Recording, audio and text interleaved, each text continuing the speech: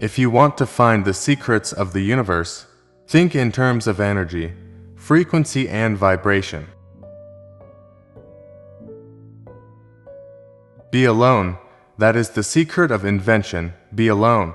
That is when ideas are born.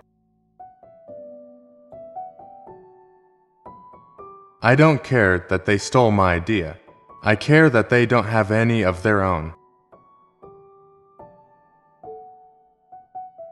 The present is theirs, the future, for which I really worked, is mine. My brain is only a receiver.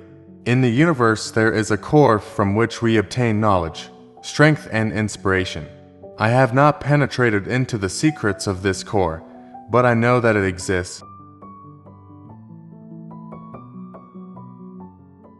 If your hate could be turned into electricity, it would light up the whole world. Of all things, I liked books best. Antisocial behavior is a trait of intelligence.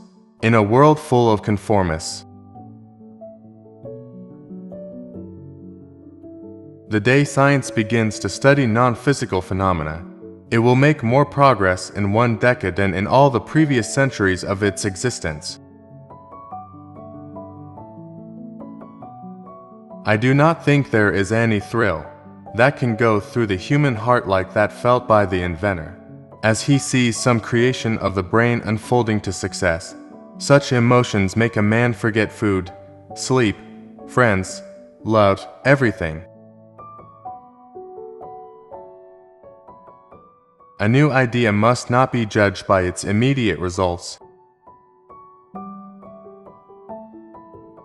I could only achieve success in my life through self-discipline, and I applied it until my wish and my will became one. The scientists of today think deeply instead of clearly. One must be sane to think clearly, but one can think deeply and be quite insane. What one man calls God, another calls the laws of physics. Every living being is an engine, geared to the wheelwork of the universe, though seemingly affected only by its immediate surrounding. The sphere of external influence extends to infinite distance.